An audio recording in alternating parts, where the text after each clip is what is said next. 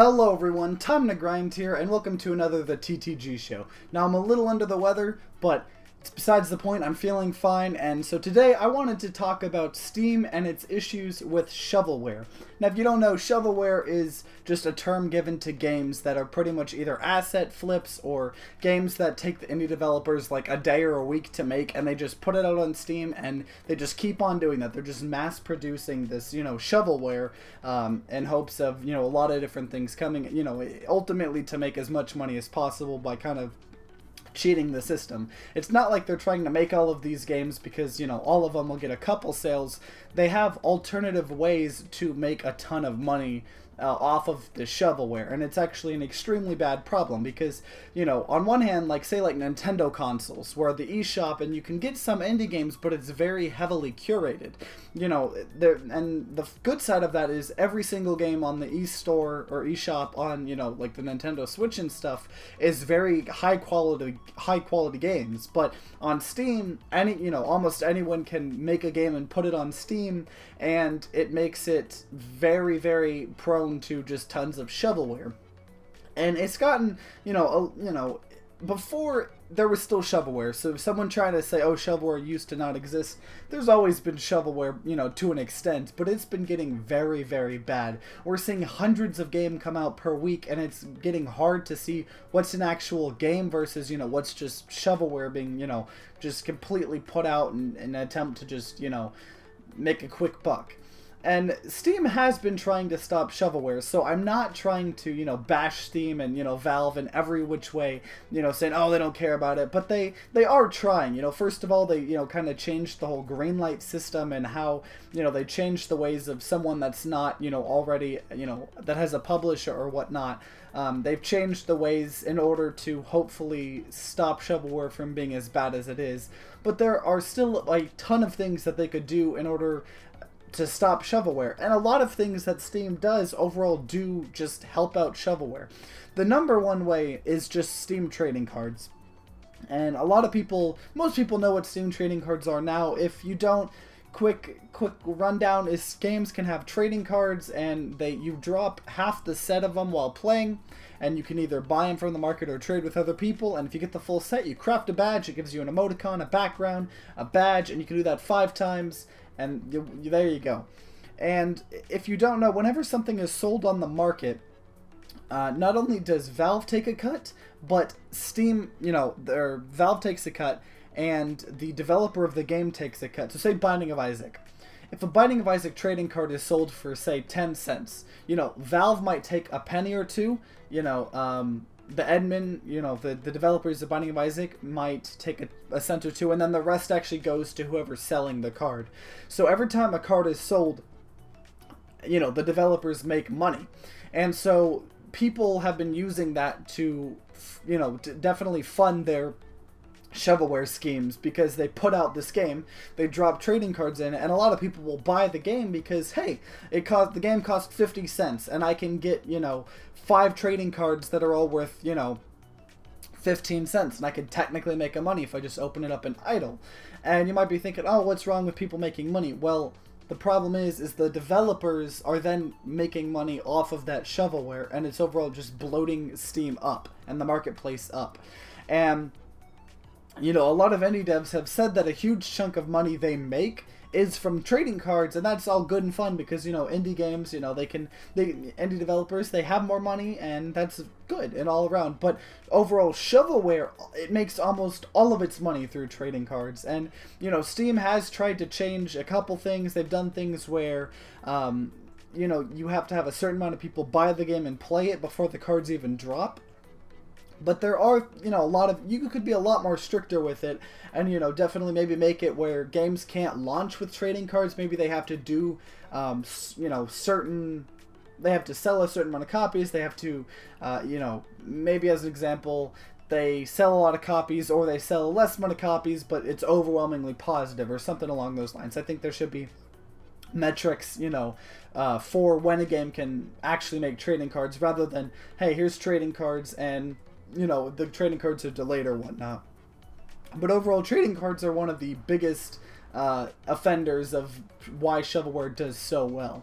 Um, number two is the the always on sale games, as I like to call them. They're games that you know they cost a you know a dollar or two or you know sometimes even five dollars and they always go massively on sale maybe uh, make it where if you're not that big of a you know if you haven't sold that many copies you can't have your game be on sale a certain amount.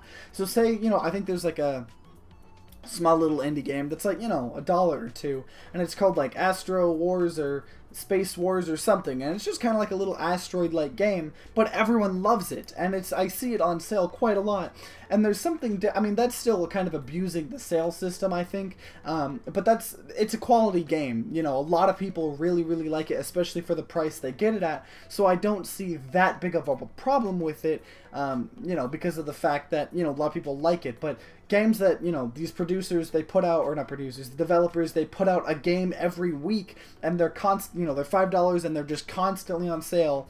You know i think there is something definitely wrong with that. And i think one way to maybe fix that would be to if you haven't sold a certain amount of copies yeah you can still put your game on sale but you're going to be limited on how many times and how long your game can actually be on sale. Rather you know that way a lot of the uh, you know, shovelware games. They can't just massively always be on sale and then be at the top of the lists when you're trying to search up specials.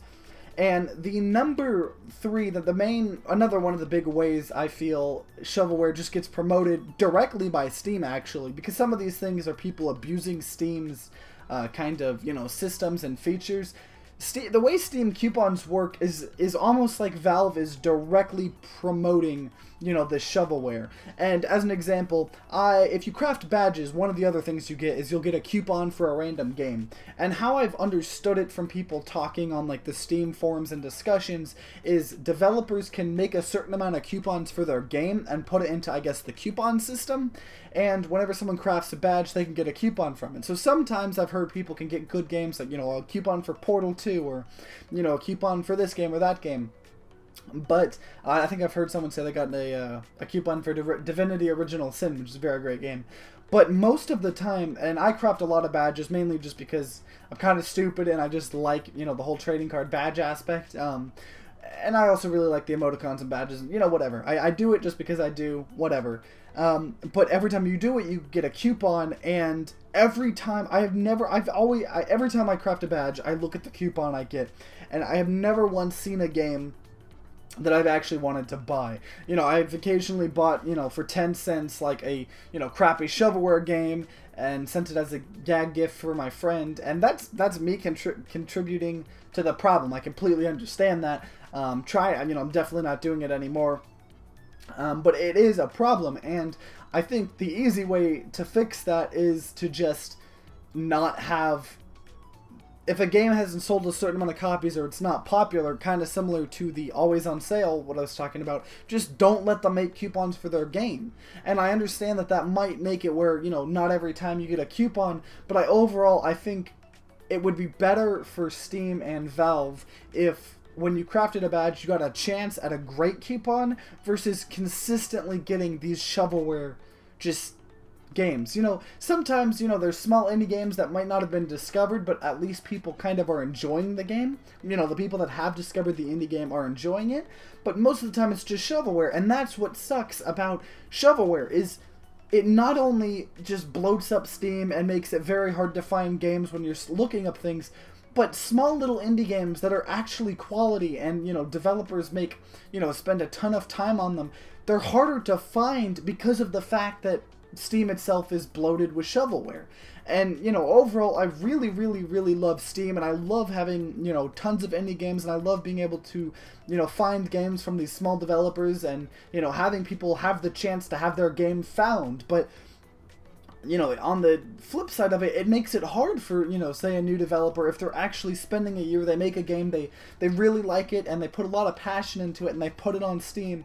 It makes it a lot harder for something like that to be found when that's one game a year by that developer when some developers are just completely just putting out and just throwing up a game a day or a game of week, you know, on Steam and it it's getting to the point where it's getting very, very bad. You know, a podcast, a lot of you guys know TotalBiscuit's podcast, Co-optional podcast, they always talk about, at the end of their podcast, they all look for games, you know, they, they always say they, like, sift through all the garbage in order to find, you know, decent games. And it shouldn't be the case like that. You know, I'm not saying bad games shouldn't exist on Steam, because that's just the way it is, bad games will exist on Steam.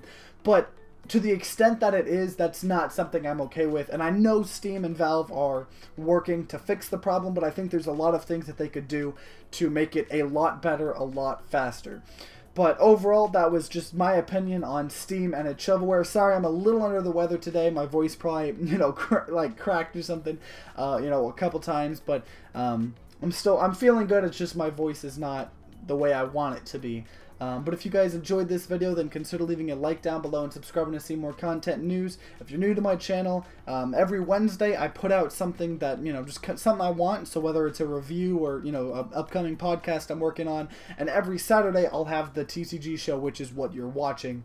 Uh, and if you have any comments, you know, any kind of things you want to bring to the table in terms of this discussion, definitely leave a comment down below. I read them all. And like always, guys, see you next time.